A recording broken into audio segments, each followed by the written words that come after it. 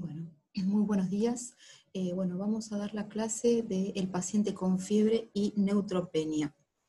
Los objetivos son breve repaso fisiopatológico, definir neutropenia y sus causas, fiebre y sus agentes etiológicos, establecer el enfoque inicial del paciente con neutropenia febril, estratificar el riesgo de infecciones y eh, establecer una orientación en cuanto a su tratamiento.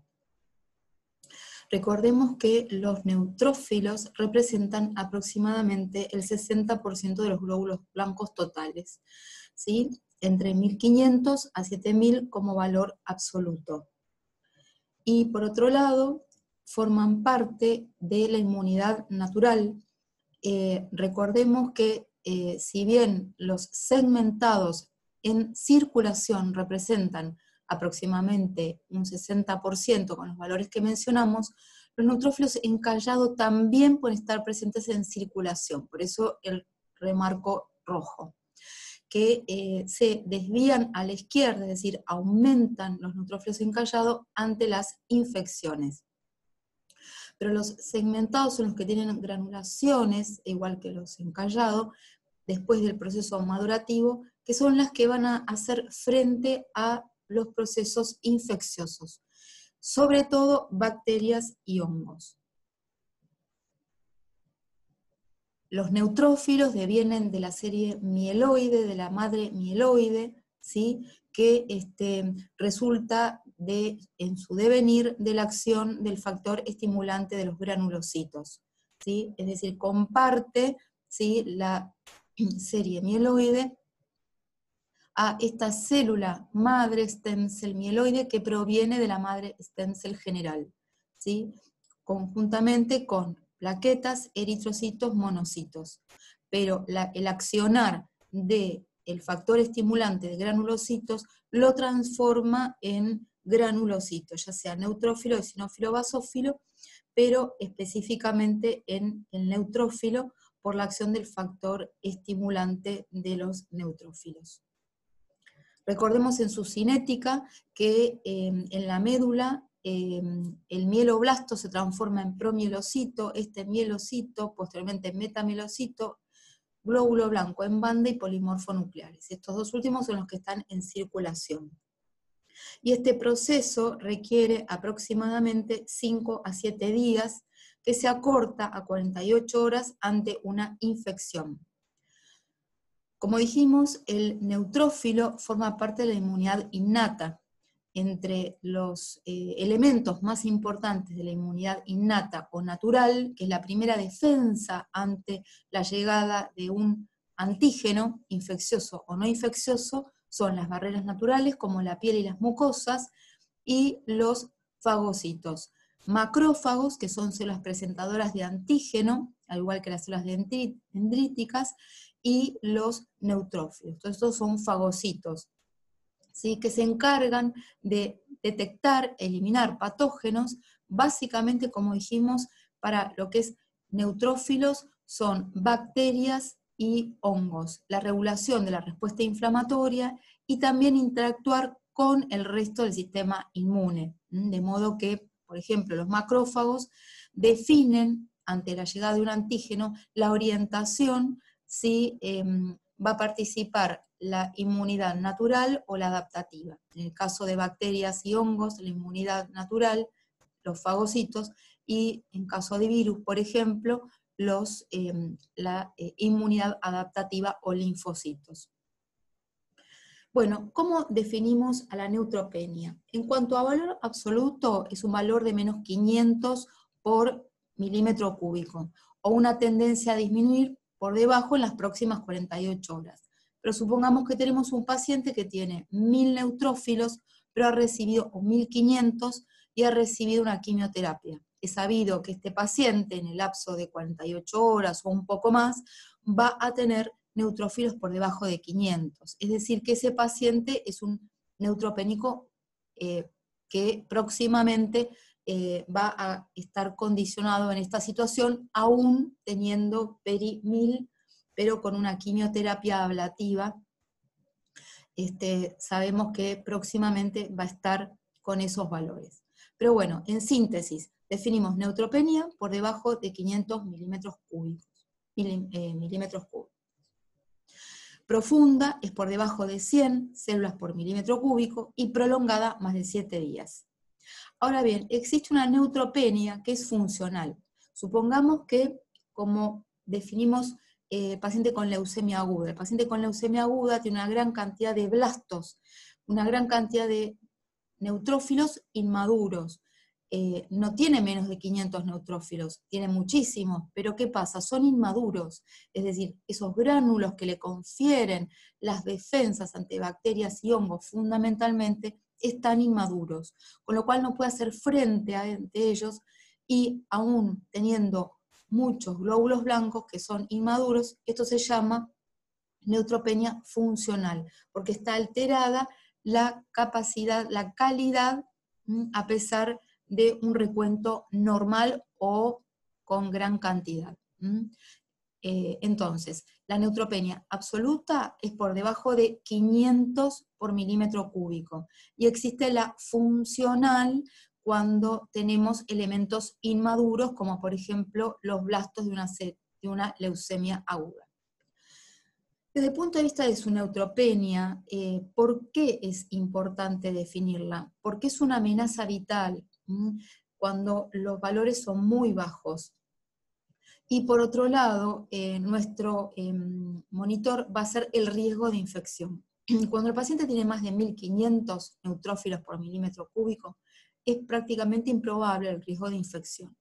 Pero cuando está entre 1000 y 1500, no hay em, eh, un riesgo significativo, este, pero no es tan importante. Ahora, el riesgo de infección aparece entre los 500 y los 1000. Pero em, les puse 1500 como punto de corte, aunque no es considerado neutropenia. ¿Por qué? Porque estos pacientes, de pronto, como yo les mencioné, reciben una quimioterapia y de pronto en horas o en 48 horas ya están con menos de 500 neutrófilos. Entonces, tengamos esta alerta que si bien por encima de 1500 no hay riesgo de infección, si reciben una quimioterapia rápidamente van a entrar entre 500 y 1000 y rápidamente van a entrar a la semana en menos 100 neutrófilos por milímetro cúbico. Ahora, menos de 500 es el riesgo significativo de infección. Y hay algo peor, no solamente el riesgo, que no hay evidencias clínicas, salvo la fiebre. ¿Por qué? Porque el neutrófilo ¿sí? hace que el paciente no tenga, por ejemplo, signos meningios si tiene una meningitis, no tiene eh, piocitos en el urinario si tiene una infección urinaria, no tiene este, flogosis si tiene una eh, flebitis por una eh, vía periférica. Y menos de 100 ya es un riesgo elevadísimo de infección y no hay ningún signo clínico de infección. Por eso ante fiebre y menos 100 glóbulos blancos eh, es elevadísimo el riesgo de infección y de complicaciones y tenemos que actuar dentro de las dos horas. ¿Cuáles son las causas de neutropenia? Bueno, para evaluar las causas de neutropenia debemos eh, dividir, ¿sí? Eh, como recién mencionamos, a la cinética del neutrófilo desde su nacimiento en el compartimiento medular, cuando sale a circulación y cuando ya llega a los tejidos. Desde el punto de vista del compromiso medular, sabemos que hay enfermedades que infiltran la médula ósea y que devienen en neutropenia. Como hablamos el lunes pasado, las leucemias agudas y crónicas, que en general son eh, situaciones donde hay muchos glóbulos blancos, pero funcionalmente están deprivados de su capacidad para hacer frente a las infecciones. Pero a veces podemos tener una metástasis en la médula ósea y ocupa el lugar de la serie blanca, de la serie roja y las plaquetas, con lo cual las metástasis hacen que tengamos neutropenia. Al igual que los síndromes mieloproliferativos crónicos que hemos visto en la semana, que muchos de ellos devienen en fibrosis, que sería una fibrosis secundaria aunque también tenemos fibrosis idiopáticas y aplasias medulares. Esas aplasias medulares a veces pueden ser por tóxicos, por ejemplo, quimioterápicos, citotóxicos, o no citotóxicos como antibióticos mm, que inhiben a la médula, la deprimen, como la trimetroprima sulfametoxazol, las drogas antitiroides que ustedes vieron en la eh, semana de endocrinología, algunos químicos y radiaciones, por eso es muy importante el interrogatorio y ver aquellas instancias que pueden haber deprimido la médula ósea. Hay virus que dan tricitopenia, dentro de ellos eh, el más frecuente es el VIH, también el Epstein-Barr, el parvo B19, que da eh, probablemente más afección de la serie roja, y algunas infecciones bacterianas que pueden infiltrar la médula este, como, o generar stop medular aún no infiltrándolas, es decir, indirectamente a través de citoquinas, como por ejemplo la brucelosis, y algunas inmunológicas, como por ejemplo algunas colagenopatías, como por ejemplo el lupus eritematoso sistémico, la artritis reumatoidea. Hay trastornos madurativos, donde no maduran los glóbulos blancos. Hemos mencionado a la leucemia. La mielodisplasia también son alteraciones más que nada en la morfología, no tanto en la maduración, pero en cierta manera puede haber algunos elementos inmaduros en las mielodisplasias, no de la magnitud que hay en una leucemia. Por eso no están dentro de la categoría de eh, síndromes leucémicos, sino que pueden ser preleucémicos, predisponer a una leucemia cuando una mielodisplasia tiene exceso de blastos, pero en una cantidad que justifica que sea una leucemia. Hay neutropenias también congénitas, ¿sí? que alteran la maduración, estos procesos heredofamiliares. Y hay mecanismos desconocidos que este, mm, no vienen eh, a ser de trascendencia en, eh, la clase. Y después tenemos el eh, compartimiento circulatorio. Existe lo que llama la pseudoneutropenia. Por ejemplo, existen situaciones como las infecciones severas, que por acción de las interleuquinas, los neutrófilos quedan adheridos al endotelio. Están presentes, pero adheridos al endotelio. Y ante una determinada, ante algún determinado estímulo, por ejemplo, la inyección de alguna catecolamina, etc., se desprenden, o corticoides, se desprenden de ese endotelio y aparece em, en circulación la verdadera masa de neutrófilos. Eso se llama pseudoneutropenia, cuando están adheridos al endotelio. El secuestro, que es lo que se llama hiperesplenismo. ¿Se acuerdan cuando vimos cirrosis? En la cirrosis existe una médula ósea rica, pero hay, por congestión del, circuito hepatoesplénico, eh, hay un incremento de la actividad del vaso y del vaso con Z, y este, retiene las series, eh, las tres series, y esto puede condicionar una disminución de los glóbulos blancos. Entonces se llama hiperesplenismo. La causa más frecuente es este, la cirrosis.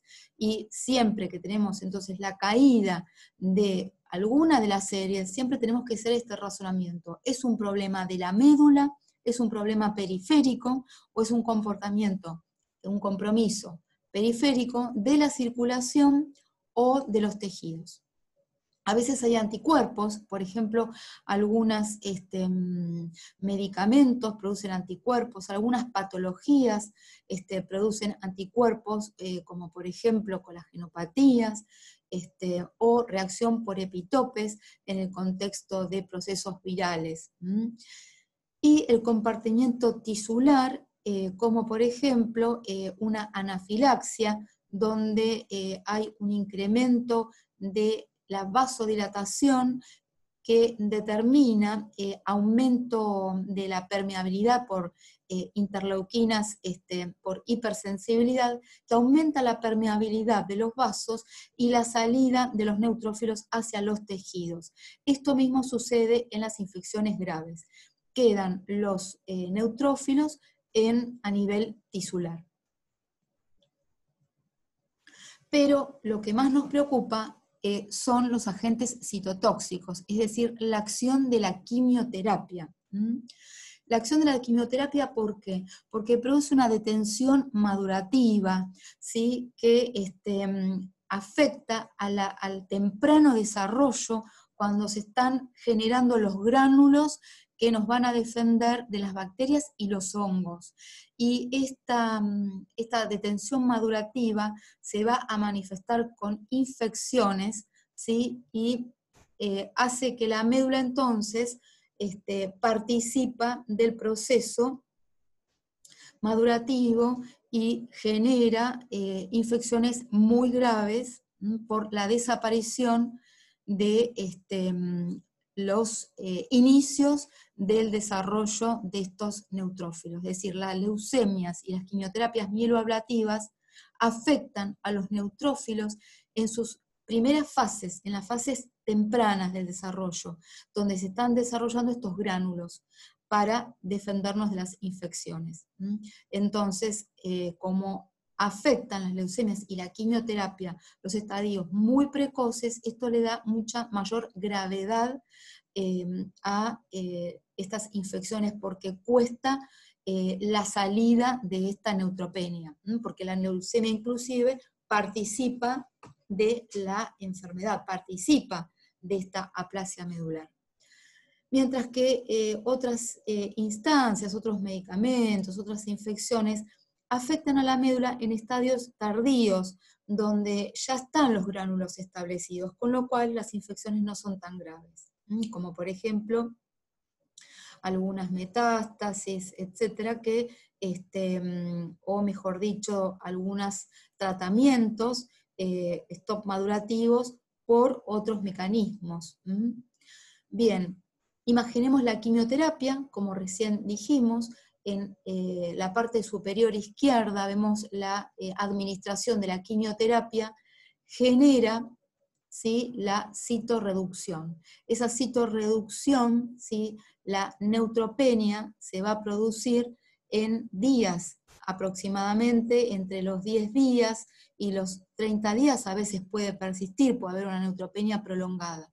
Y en ese lapso en que los neutrófilos disminuyeron, ¿sí? no tenemos las defensas ante una irrupción de bacterias que normalmente son saprofíticas, habitan la piel, pero que por una vía central o por una mucositis producida por la misma quimioterapia o una malabsorción por inflamación intestinal por la misma quimioterapia, entran las bacterias desde la piel saprofíticas o desde la mucosa intestinal, entran al torrente circulatorio e invaden el pulmón. Esto es lo que genera las sepsis graves, asintomáticas pero con fiebre y con una alta mortalidad de no mediar un tratamiento dentro de las dos horas. Fíjense, la fiebre coincide con esta neutropenia. La realidad es que eh, la fiebre, como estos pacientes no tienen capacidad de respuesta, de evidenciar la respuesta flogótica o la expresión de cada tejido infectado, lo único que vamos a tener es fiebre. Por eso es una fiebre que no tiene foco muchas veces, aún teniendo una infección, por ejemplo, pulmonar, puede no haber focos no puede haber no evidencias de infiltrados pulmonares. En general, como no hay neutrófilos, no hay infiltrados, salvo cuando tenemos una infección micótica por hongos, que em, como el mecanismo es por eh, infartos pulmonares, por vía hematógena, genera un eh, infarto con vidrio esmerilado por el arribo del hongo hacia el pulmón. Por eso eh, la presencia de un nódulo con vidrio esmerilado o varios, esto nos hace pensar en un proceso micótico. Pero el concepto que se tiene que llevar de aquí es que la quimioterapia y las leucemias son mieloablativas, son las más graves porque afectan el desarrollo de los, de los, sí, bien digo, de los neutrófilos en sus primeros estadios madurativos, que hacen perder la capacidad de respuesta porque no tienen gránulos que han madurado que los defienden de las bacterias y los hongos. Como la fiebre es la única manifestación, tenemos que definirla. Cuando consideramos fiebre, único registro de más de 38,3 central, ¿sí? Em, pero como la temperatura central o rectal no la podemos medir, vamos a ubicarnos con la oral. Más de 38 ¿sí? centígrados oral sostenido en una hora. Ocurre en el 80% de los pacientes oncohematológicos y puede ser la única manifestación de infección grave. Recuerden que la temperatura rectal está proscrita, se prohíbe la temperatura rectal en el paciente febril, en el paciente neutropénico febril. ¿Por qué? Porque eh, podemos traslocar los gérmenes de la región rectal y generar una sepsis eh, mortal. Entonces, puede ser la única manifestación de la infección grave. El 20 y 30% ¿sí? tienen infección clínica y 10 al 25% tienen bacteriemia, o sea, la circulación en sangre ¿sí? de, estos, este, de estas gérmenes. El neutropénico afebril puede tener este, signos o síntomas de infección. Entonces, eh, el tratamiento es igual al paciente con neutropenia febril.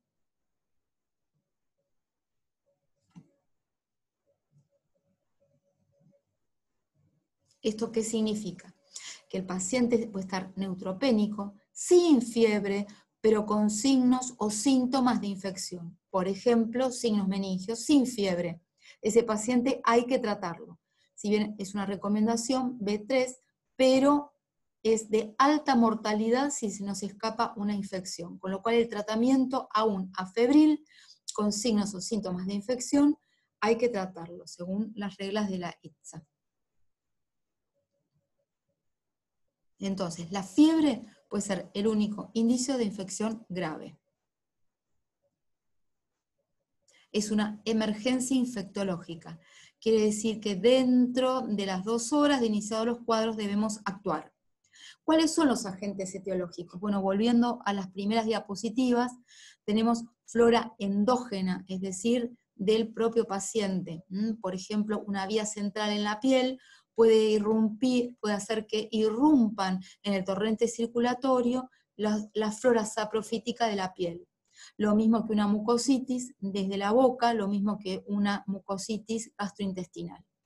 También pueden ser adquiridos del medio hospitalario, por ejemplo, un paciente que se le coloca una vía periférica, los gérmenes quizá también que pueden irrumpir a su torrente circulatorio, no solamente sean de la piel, sino que puedan ser de una contaminación del medio hospitalario, que también pueden ser transmitidos por el aire, por los alimentos. Por eso estos pacientes tienen que estar aislados en salas de inmunocomprometidos específicas, sin contacto con el medio hospitalario, y eh, tienen eh, prohibido los alimentos crudos. Todo tiene que ser cocido y prohibidas las frutas, nada de flores en la habitación, ni tampoco familiares. Son pacientes que están eh, con un aislamiento para el inmuno comprometido. La frecuencia eh, son, en primera instancia, las infecciones bacterianas. ¿sí? Eh, menos del 25% este, son bacterianas con con este, cocos gran positivos en el 50 por 57%, bacilos gran negativos en un 34% y mixta en un 9%. La mortalidad está dada por los bacilos gram negativos, sobre todo la pseudomona. Por eso estos pacientes tienen que eh, rápidamente ser tratados y adquirir eh, en el tratamiento el espectro de la pseudomona. Las infecciones fúngicas también son importantes y las virales también, porque recordemos que eh, en un momento nosotros hablamos de la interacción de los neutrófilos con los virus, con los linfocitos, de modo que em, la señal desde eh, los eh, granulocitos hacia los linfocitos que está alterada hace que el proceso de defensa contra los virus también está alterado de modo que también los virus participan de los procesos infecciosos. Pero la gran mortalidad y gravedad la dan los gram negativos. Dentro de ellos, las, los enterobacterias, la Escherichia coli, la Klebsiella, pero sobre todo la pseudomona aeruginosa. Dentro de los gram positivos, los estafilococo aureus, los paulasas negativos y los resistentes eh, a la este, meticilina, este, los enterococos resistentes, los enterococos resistentes son los más importantes. Y los hongos, ojo con los hongos, dentro de ellos los más importantes son cándida y aspergillus, no, no tanto la mucormicosis. La mucormicosis es más patrimonio del diabético, pero este, en general em, la cándida y aspergillus. Y por el mecanismo que dijimos, los virus también, y dentro de ellos los herpes y algunos respiratorios. Entonces la cándida, por alteración de los gránulos, recordemos que los constituyentes del hongo de la cándida activan la amiloperoxidasa que debe destruir a la cándida, pero en su defecto no puede destruirla y la cándida entonces invade el torrente sanguíneo, puede producir endocarditis de alta envergadura, y este, este defecto entonces de la amiloperoxidasa hace que la cándida no pueda ser destruida. Esta es una paciente que ya se las había mostrado em, en la clase de leucemia, era la paciente, ¿se acuerdan que tenía una leucemia megacariocítica, que había entrado con, esas, eh, con una leucemia cutis y herpes en piel, eh, que después se le hace la quimioterapia y hace neutropenia. En el contexto de la neutropenia desarrolla esta lesión que eh, se biopsia, que parece leucemia cutis, se biopsia, se manda a cultivo y era una cándida tropicalis. Al mismo tiempo esta paciente había tenido infiltrados pulmonares, pero porque eran hongos, una cándida tropicalis. Y el otro grupo de hongos que debemos temer en eh, el paciente neutropénico es el Aspergillus fumigatus, la aspergilosis. Ustedes saben que este, los galactomananos forman parte de la pared del hongo, que se dosan en sangre para hacer diagnóstico. Entonces, em, estas IFAs ¿sí? activan a la natfosfato oxidasa de los neutrófilos, que eh, hace que destruya al eh, hongo pero cuando eh, esos gránulos están inmaduros, esta nadfosfatoxiasa no existe y no puede liberar estas especies reactivas y el anión superóxido para actuar como microbicida y romper y dañar a esas cifas. Entonces, la falta de gránulos hace que prolifere el aspergillus. El aspergillus puede provenir desde la flora endógena o desde el exterior a través de la aspiración. Entonces la nadfosfato oxidasa es la responsable. Fíjense el aspergillus, como yo les decía, cuando hay infiltrados pulmonares en un neutropénico, porque el neutropénico no debería hacer estos infiltrados, es por infiltración hematógena ¿sí? y símil infarto. El vidrio esmerilado alrededor de los nódulos es producido por el infarto hemorrágico que producen estos hongos. Entonces, lo importante es el inicio precoz del tratamiento y evitar el diagnóstico por autopsia. Prevención con diagnóstico y o tratamiento precoz. El enfoque inicial, entonces, es, primero, evaluar al paciente. El examen físico la historia clínica nos ayuda mucho el interrogatorio. ¿Tiene foco o no tiene foco? Bueno, a veces es difícil identificar el foco porque hay neutropenia. Entonces tenemos fiebre con foco o sin foco. A veces el foco lo identificamos por dolor, aunque no tenga los signos de flogosis, por lo que dijimos, va a tener dolor. Por ejemplo, una cefalea en una meningitis, un dolor abdominal y diarrea en un paciente con este, una tiflitis, por ejemplo, em, una este, tos en caso de eh, tos y fiebre en caso de una infección pulmonar. Entonces, fiebre, hemocultivos. Y si hay acceso central, hay que tomar un retrocultivo porque puede ser la causa de la fiebre. Entonces, fiebre con foco, cultivar el foco. Pero siempre, siempre tengo que actuar dentro de las dos horas. Esto es lo más importante, porque es una patología de muy alta mortalidad. Así como dijimos que la lisis tumoral era una emergencia oncohematológica, la neutropenia febril es otra emergencia oncohematológica. Normalmente, cuando tenemos glóbulos blancos normales, existe la tetrada de Celsius, tumor, rubor, calor y dolor. Acá solamente vamos a tener el dolor, porque el resto está inhibido por la falta de neutrófilos. La respuesta inflamatoria representa cambios del flujo sanguíneo local y permeabilidad vascular. Puede haber edema por la permeabilidad. Entonces, esa tetrada de Celso, ¿sí? ya no la vamos a tener. Entonces, la flogosis no la vamos a tener, solamente el dolor. Entonces, están ausentes los signos de flogosis, sí el dolor, sí la fiebre. Y recuerden algo que les dije al principio, sin fiebre, pero con dolor y neutropenia es estigma o el paciente que tiene un deterioro del estado general sin fiebre y está neutropénico, ojo, también hay que cultivarlo y ponerle tratamiento empírico. De última, si los cultivos son negativos, se suspende. Y si el paciente mejora, aún con los cultivos negativos, se debe seguir hasta que salga de la neutropenia. ¿Qué cultivamos? Los diferentes cultivos deben ser guiados por la clínica y no deben ser de forma rutinaria. Por ejemplo, no se hace un urocultivo de rutina, sí los hemocultivos y las zonas donde hay alguna evidencia de foco. ¿sí? Si el paciente tiene cefalea, hay que hacer un líquido cefalorraquídeo, directamente el físico-químico y el cultivo, porque no va a tener células. Si tiene odinofagia o mucositis o lesiones por herpes, se hacen hisopados bucofaringios. Si tiene tos, bueno, expectoración no va a tener, pero este, puede tener infiltrados, ¿sí? Este, entonces tenemos que hacer un lavado broncoalveolar, o sea, una endoscopía con lavado broncoalveolar, citológico y cultivo. Y enviar también para gérmenes comunes y ácido alcohol resistente, o sea, para tuberculosis.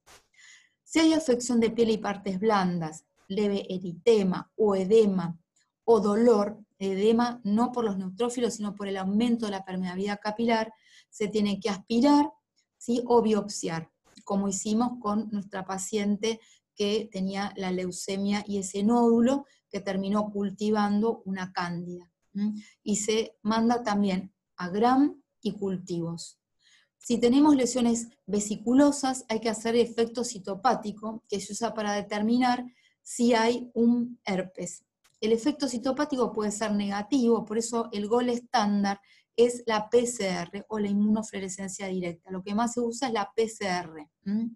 El ectima gangrenoso es una embolia séptica de bacterias por los capilares y da una úlcera en la piel este, que cuando se cultiva eh, se evidencia de ese capilar que generó la úlcera a través del proceso infeccioso, se cultiva. En general, o un estafilococo, una pseudomona o algún hongo. Este, la enterocolitis del neutropénico o tiflitis es la inflamación en general de toda la fosa ilíaca derecha, es decir, del ilion, del apéndice. En general es más del eh, ciego, es el ciego inflamado, que es también otra evidencia clínica importante que requiere antibióticos y tomografiar al paciente, porque como hay edema e inflamación, sin tener neutrófilos, pero hay mucho edema, inflamación y dolor.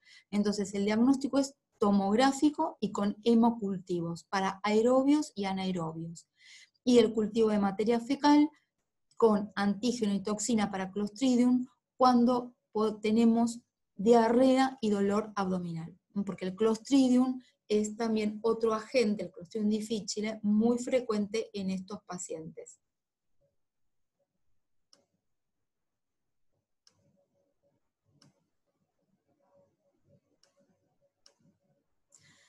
Bien, entonces, podemos no tener evidencias radiológicas, ¿sí? Entonces, meninges normal con meningitis inflamadas, porque no hay neutrófilos. Una piel normal sin eh, neutrófilos, aún con infección, ¿sí? Entonces, signos y síntomas disminuidos o ausentes. Esto es muy importante. Lo que no quita que siempre que hay hipoxemia, tos o fiebre sin foco, igual, aunque no tengamos foco, aunque no tengamos tos, tenemos que eh, hacer una tomografía de abdomen, de tórax, porque muchas veces es un hallazgo radiológico, tomográfico, la neumonía. Lo que sí, eh, muchas veces acompañando eh, una neumonía, aparecen unos crepitantes, porque es lo único que evidencia el proceso infeccioso. El crepitante que me está indicando, un crepitante local, aumento de la permeabilidad vascular por citoquinas. Entonces, a veces lo único que tenemos son crepitantes localizados. Hacemos tomografía y aparece el aspergillus en la tomografía. Ese es un clásico en estos pacientes. Entonces, el próximo paso es estratificar el riesgo. ¿Y para qué me sirve estratificar el riesgo? ¿Qué les parece? Bueno, es para ver qué hago con ese paciente, si se va a la casa, si lo interno, qué magnitud de instancias vamos a tener. Entonces, la estratificación del riesgo nos permite definir el tratamiento empírico inicial, la vía de administración, porque suponemos, supongamos que es un tumor sólido, con una quimioterapia que sabemos que, como no es la quimioterapia, no es la quimioterapia ablativa de una leucemia de los estadios tempranos, sino que es de los estadios más tardíos, quizás esos pacientes de tumores sólidos, si está en buen estado general, le damos factor estimulante de colonias y se puede ir a la casa con antibióticos por boca. ¿sí? ¿Por qué en la leucemia no le podemos dar factor estimulante de colonias? Están contraindicados, salvo que el paciente esté muy comprometido por fiebre y su clínica. Porque ¿qué pasa? Si yo le doy factor estimulante de colonias un paciente que hizo la quimioterapia ablativa por una leucemia, puedo reinducir una leucemia. No pasa esto con los tumores sólidos, que cuando hay compromiso de la médula por el tumor sólido, le, o no hay compromiso de médula por tumor sólido, pero recibe una quimioterapia, como no es ablativa, le puedo dar factor estimulante de colonias.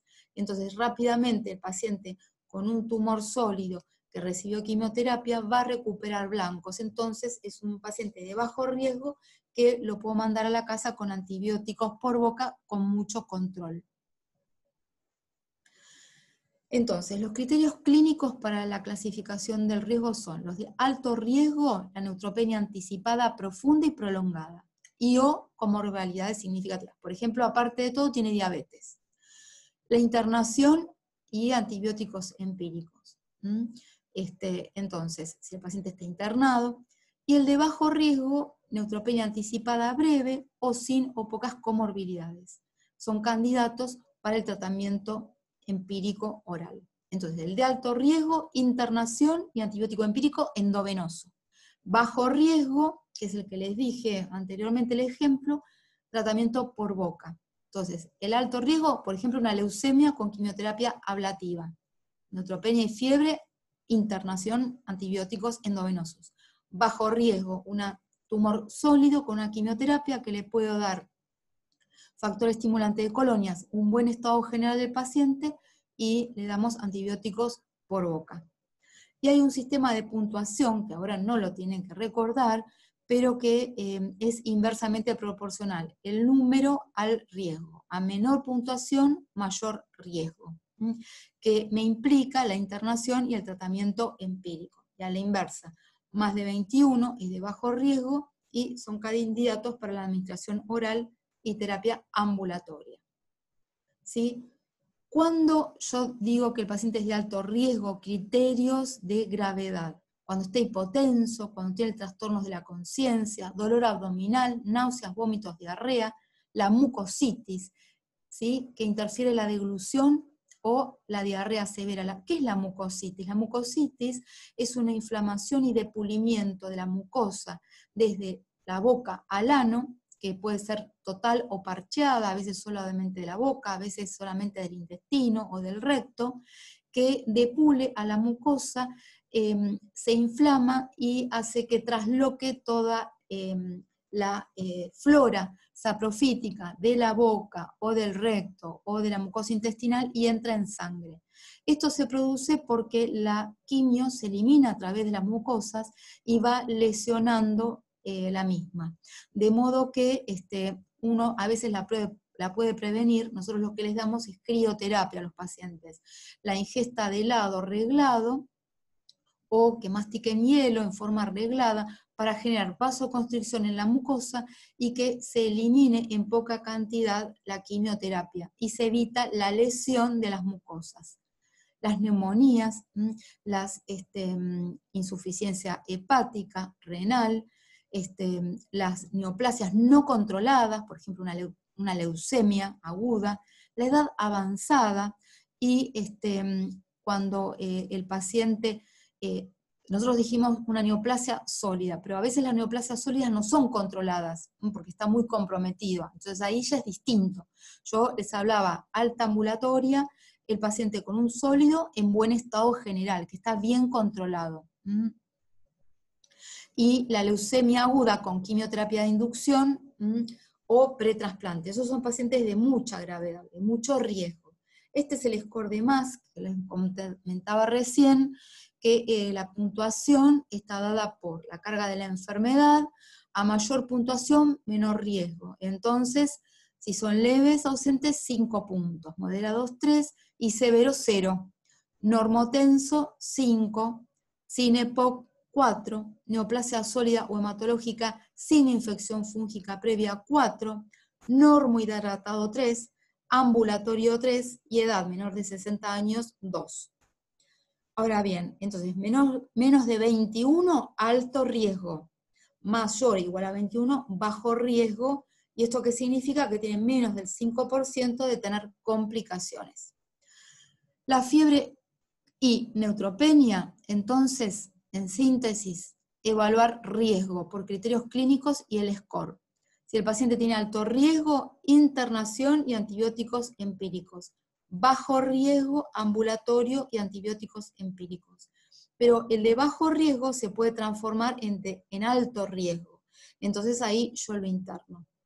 Entonces, el tratamiento, entonces, va a depender de cualquiera de las opciones de monoterapia recomendadas en la ITSA del 2011 es tan efectiva con las terapias de como las terapias de múltiples drogas. ¿Sí? Entonces, cuando, cuando el paciente em, tiene eh, evidencias de este, una neutropenia sin foco, bueno, probablemente podamos usar una terapia empírica con un solo antibiótico. No es el concepto cuantos más antibióticos mejor, porque tenemos menos efectos adversos y menor morbilidad. ¿Qué antibiótico indico entonces como único antibiótico? Bueno, cefepime, hiperacilina tazobactam o imipenem meropenem. Si bien en la ITSA están estos recomendados como primero inicio, los carbapenem, como son de eh, mayor envergadura en ciertos aspectos, se dejan para última instancia para no generar mucha resistencia de entrada. Entonces, empezamos con piperacilina tazobactam, porque tiene gran espectro, sobre todo para gran negativo, sobre todo para pseudomonas ¿sí? y anaerobios. Fundamentalmente dijimos que la mortalidad era pseudomona, entonces queremos trabajar sobre las pseudomonas. ¿Y la vancomicina se da siempre? No. No es recomendada como tratamiento empírico inicial porque podemos estimular el desarrollo de eh, cocos vancomicina resistentes, este, ni basada en la duración de la fiebre. No disminuye la duración de la fiebre ni la mortalidad. Solo se recomienda, en caso de estar iniciada, debe suspenderse a las 48 horas si no hay confirmación microbiológica y si los cultivos positivos son sensibles a eh, beta-lactámicos y si los cultivos positivos para cocos son resistentes a la vancomicina. Entonces, ahí se debe suspender, ahí se debe suspender pero eh, la vancomicina a veces como tratamiento inicial también se puede utilizar cuando el paciente ha recibido profilaxis para eh, quinolona, cuando el paciente está hipotenso, en las neumonías bilaterales, este, cuando ya quizá tenga, tiene un poquito más de blancos. Eh, esas son las indicaciones de la vancomicina desde un inicio. Entonces, Repito, indicaciones de vancomicina u otros antibióticos activos contra gérmenes gram positivos de inicio, inestabilidad hemodinámica o hipotensión o evidencia de sepsis, neumonía bilateral o mucha hipoxemia. Cuando en el hemocultivo sí se identificó, saltó este gran positivo que es una este, sensible solamente a la banco, o sospecha clínica de infección asociada a catéter con muchos escalofríos con la infusión y celulitis en el sitio de entrada. Ahí hasta tener los resultados, como resulta desde una observación clínica, esto que puede venir en gran gravedad, está indicada su uso. Y la infección de partes blandas de cualquier localización, es decir, si el paciente tiene un catéter o tiene una celulitis, una infección de partes blandas, ahí sí le voy a indicar, por ejemplo, le asocio la pipertazo, la vancomicina. O si el paciente ya sabemos que estaba este, colonizado por gérmenes que necesitan sí o sí la vancomicina porque son resistentes a otros antibióticos. Y la mucositis, pero no en todas las mucositis. Los que, como les mencioné anteriormente, han recibido profilaxis con quinolona, o tratamiento empírico con cestacidina. Entonces, solo vamos a iniciar empírico con banco a pacientes colonizados con estafilococos resistentes a la meticilina y si están inestables o con hemocultivos positivos, hasta tener la sensibilidad. Hemocultivos positivos para cocos, hasta tener la sensibilidad. O que tienen también una vía central o una celulitis, o cualquier dispositivo que afecta, comprometa la piel. Entonces, eh, ahora, si el paciente tiene eh, un este, coco banco R o está colonizado por un banco R resistente a la vancomicina, tengo que empezar con linesolid o daptomicina, ¿sí? En pacientes, entonces, con trasplante o colonizados con eh, enterococo banco R.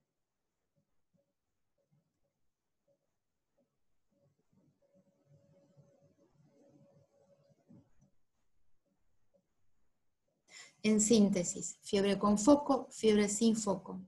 Fiebre con foco, ajustar el antibiótico acorde como eh, aparecieron los aislamientos y tratar el foco por 7 a 14 días. Sin foco, la fiebre desaparece y cultivos se hacen negativos, continuar el tratamiento hasta que los glóbulos blancos superen los 500, los neutrófilos.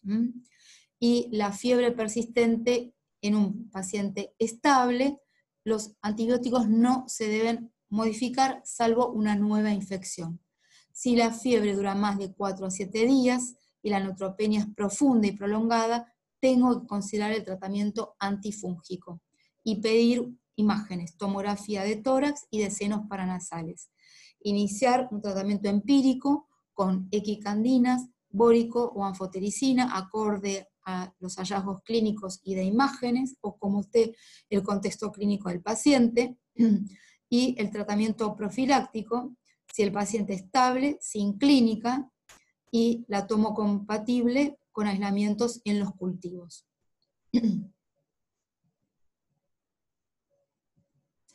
y el paciente inestable, ampliar el esquema considerando microorganismos resistentes. Rotar a carbapenem, agregar aminoglucosio, fluoroquinolonas o polimexina, agregar banco o antifúngicos. Todo esto em, es más para interna, pero es importante que tengan un concepto general de cómo es el enfoque y que el tratamiento precoz reduce la mortalidad. ¿Cuándo modifico el tratamiento empírico? Si sospecho un estafilococo SAM error resistente a la meticilina, vamos a administrar banco, linesolid o adapto. Si es un EBR, o sea, un enterococo banco R, si es resistente a la vancomicina, daptomicina y linesolid. Si son este, mm, eh, eh, bacterias de espectro eh, ampliado, resistencia a las beta-lactamasas, tenemos que administrar carbapenes, y para la Klebsiella KPC resistente, polimixina y tigeciclina. Y la pseudomona multiresistente, considerar la polimixina.